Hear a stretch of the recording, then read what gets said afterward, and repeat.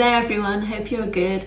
Um, I'm just going to talk to you today a little bit about embracing your shyness, or you know whatever it is about your personality that you know that you've been sort of fighting against. Um, you know, just it's time to embrace it and just be yourself and accept who you are. So when I decided, I mean, I'd grown up um, as a shy person for as long as I can remember. I was shy, um, and it went on, you know, for quite a, a, number of years, even into you know after after university.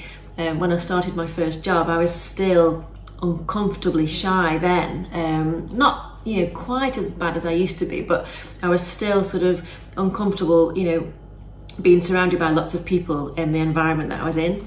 Um, so I used to constantly feel, you know, on edge, thinking I was going to make mistakes, um, and just not, you know, not being happy. Um, so that went on, you know, as I say, for a while, and then it wasn't until I came across personal development um, and I started to learn about, you know, how to become the best version of myself, um, and you know, and, and success habits and things like that. That I realised that I didn't have to carry on you know, fighting the shyness all the time. I realized that if I just learnt to embrace it and work with it, you know, my life would be a lot happier and I would achieve a lot more. So that's what I started to do. I decided that, you know, I was going to accept myself um, and that, you know, I was going to stop trying to be like everybody else, um, you know, because I would see all my extrovert you know, people around me, extrovert friends, you know, and people that I worked with and think, you know, I've got to be like that if I want to achieve anything in life. But I quickly, you know, realised that that wasn't the way to go. I had to be me, um, you know, and I had to start um, accepting myself and realising that my shyness could actually work to my advantage. Um, so now, you know, I love the line, shyness is a quality, not a flaw. And um, I really believe that we should all, all shy people and quiet people and introverted people should believe that.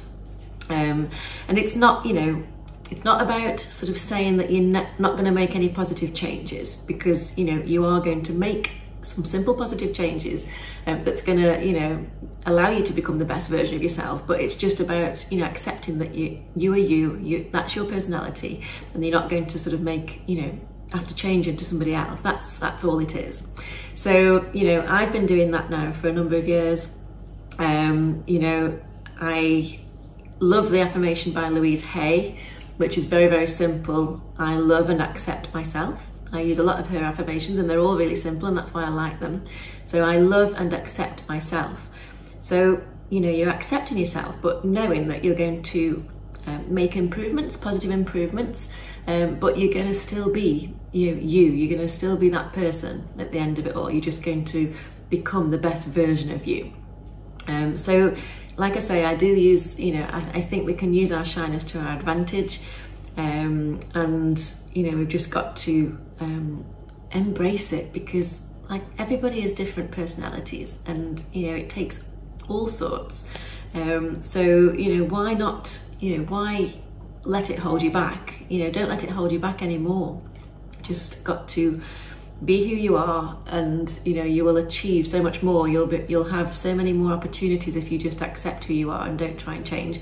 And if you just believe um, it's all about belief. This is a big one. You know believing that you can do it um, by being yourself. That is so key um, so, you know, I hope that helps. I hope you'll take my advice and learn to embrace who you are uh, because everybody, you're all unique and, um, you know, you've got lots to offer. Um, so just, you know, use your personality and work with it rather than against it.